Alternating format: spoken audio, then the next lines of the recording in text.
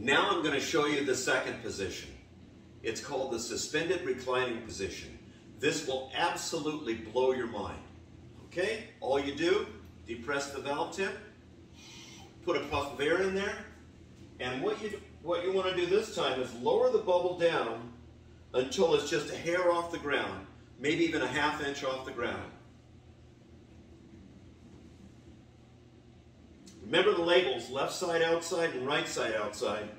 So I put the bubble around me so my left label is on my left, right label's on my right, and both labels face, face the outside. Both labels face the outside. I cinch the bubble in right in the small of my back.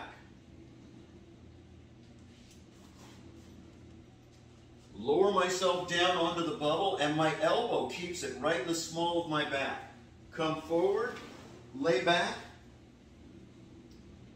This will blow your mind.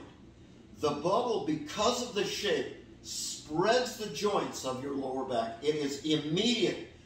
It's, this is spinal traction, spinal decompression. It, it fits all the categories with the exception of you have natural movement. This is completely unique in the medical industry. Also, you can lift a little bit and, and move the bubble and find the exact spot where your pain comes from. Once you're in position, you can actually align that area and you might feel a little click or a pop. Just push one side of the bubble and pull the other. And you can pump fluids into the disc area just by pumping your feet against the, against the strap. I'm telling you, there's nothing that feels like this. It, this will, you gotta try it. You just have to try it.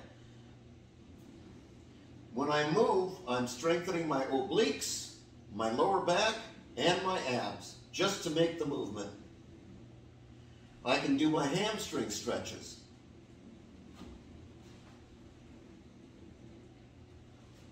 Now, if you have pain in your left leg, your left foot goes against the strap. If you have pain in your right leg, your right foot goes against the strap. And you don't want your legs all locked out like that. You want them relaxed. And in fact, let's say I have left leg pain, I'd want to bend that knee a little bit and find the place where your body's in a healing mode. And your body's in a healing mode when it is pain-free. Nice. To get out, pull, and walk You got to try it.